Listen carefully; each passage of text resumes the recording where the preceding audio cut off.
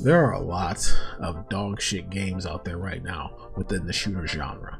Um, there are some good ones, don't get me wrong, but there are a lot of trash ones. And when I say trash, um, I'm speaking of the form of they want as many people to play the game as possible. That's not bad from a business perspective, but they want people to feel instant gratification, satisfaction as soon as they touch a controller, without having to put any work in, without to put any effort to work on accuracy or anything like that. You just they want them to feel satisfaction the second their hands touch that controller.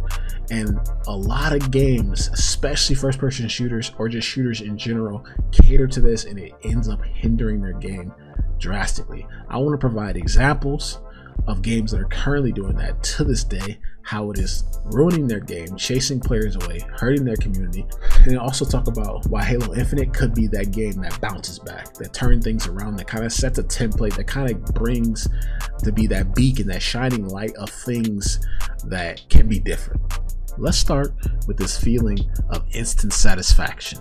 This feeling that game developers want to provide their customers, because I don't even want to call us a community or gamers anymore, when developers just look at us as goddamn money signs. And I know you guys see this with battle passes being in $60 games, DLCs, you got emotes, you got fucking goddamn skins, you know, accessories, blah, blah, blah. Everything you could possibly think of under the sun is being monetized, along with the game becoming some form of a live service.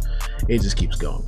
And while that state I think is going absolutely nowhere, with that in mind, game developers looking at us as dollar signs plays directly into this instant satisfaction.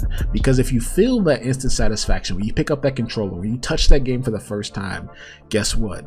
It's a good way to get you hooked. It's a good way to hold your attention. It's a good way to get you spending money. Now, how do they create this form or this sense of satisfaction?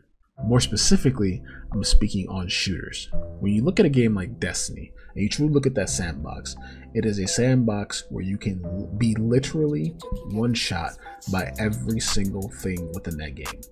From special weapons to heavy to grenades with the right build to melees, you name it. It is insane. Okay, and what that does is at mid level, it creates a very frustrating experience because you're constantly getting one shot, but you have a solid understanding of the game. At high level, it makes the game almost unplayable. And what I mean by unplayable, I mean that if you go look at the highest tier of players, and you watch a game of trials, 99% of that game is people not playing. It's people camping behind walls, people using swords to three peek, people literally doing everything they can to avoid showing face so they don't get their head ripped off by snipers or get one shot by something, them building up super energy so they can one shot someone else. But it is made that way so that little Billy who has never touched a game can get on and feel good about getting a kill. Because if he feels good about getting a kill and he enjoys that maybe he got 10 kills his first time ever playing Destiny, that's a good way to get him invested. It's a good way to get little Billy rolling, right? He doesn't have to go in and practice and work on his accuracy or put in time, learn maps, strategize. All he has to do is fucking go on Insurmountable Skullfort, get one exotic, shoulder charge around, and one shot everybody. Chances are that if he has that exotic, he just shoulder charges for an entire game of control, he's probably gonna kill at least 10 people. What that feeds into is this guy spending money because he's having fun now. He may not be playing the game a whole lot, which means that maybe he works a lot, maybe he has different responsibilities, maybe he has more money than time. So with that in mind, he's enjoying a game. He got on, got some kills. You know, he shoulder charged the hell out of people. And what that does, it creates this cycle for this guy to get invested. He starts spending money on emotes. He starts spending money on skins that he like. He starts spending money on exotic ornaments in the Eververse and blah, blah, blah.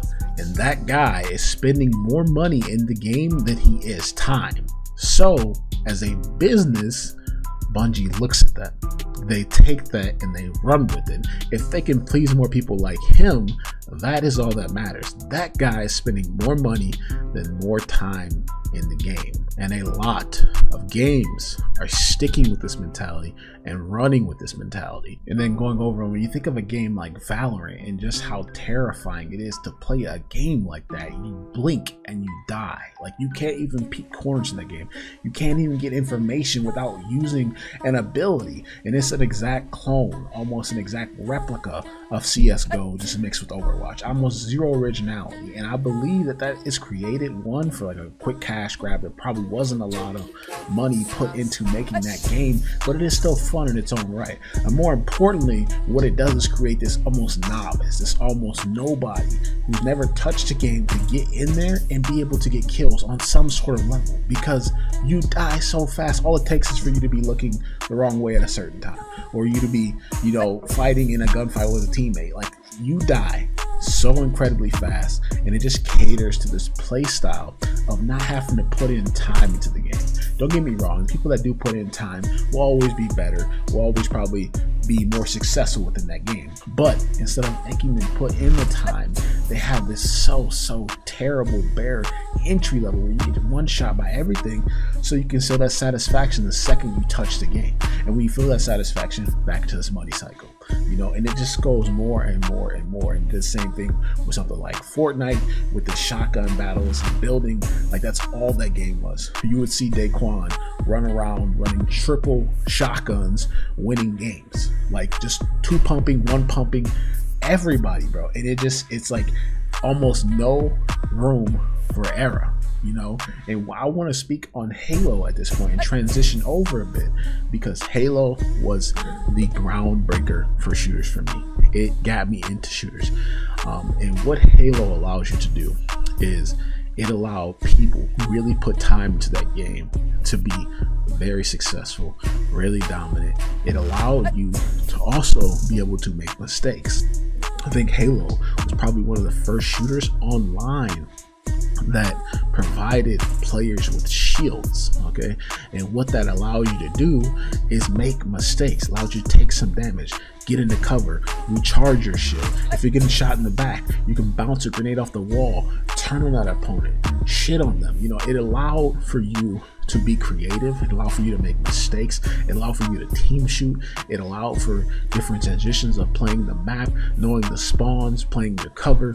Um, I really loved that aspect about Halo. And that's what I'm hoping Halo Infinite brings back within the shooter genre. We're heavily missing that. There's almost no games out there to date where you actually have time to make a mistake, where you have time to think about something. You're not getting punished just for looking for information around the corner. Um, there's so many games that are so unforgiving because it's creating this element, this environment for people of almost no skill to get on, get a kill, so they can get invested into the game, so they can then spend money in less time. And it cripples and hinders this community. I've seen people completely chased away from games like this, um, not want to touch it, completely burn bridges.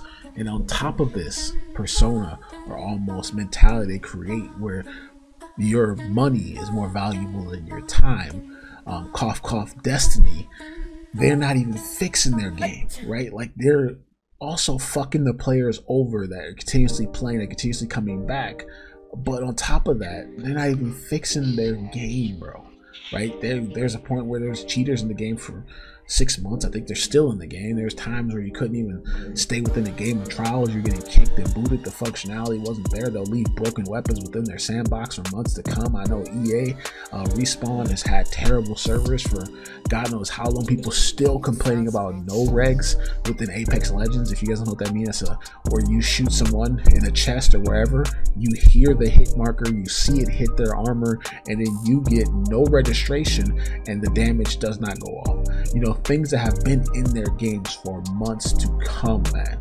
And I mean, sometimes maybe years with bugs, and they are not fixing this. But you know what? They push out that battle pass, they push out that new season, they push out the new cosmetics, and it's just a cycle of your money is more valuable get it, it's a business. But let me know if you guys are excited for any shooters coming out in the near future. It doesn't involve you having to snort three lines of crack just so you can react in half a millisecond and you don't die getting your head ripped off. You something a little more forgiving? Or maybe you're excited for Halo Infinite, guys. I'm curious to hear you guys' thoughts. And if you guys made it this far in the video, make sure you leave a like on the video if you enjoyed it. Hit that subscribe button, join the chosen ones, and remember, you have been selected.